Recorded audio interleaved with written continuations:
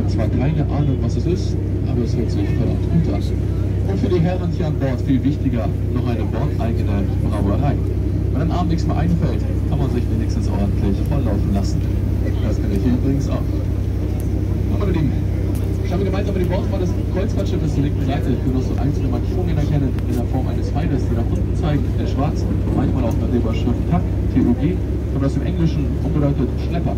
Dies sind kleine Hinweise für den Hochsee-Assistenzschlepper, der die Aufgabe hat, das Kreuzfahrtschiff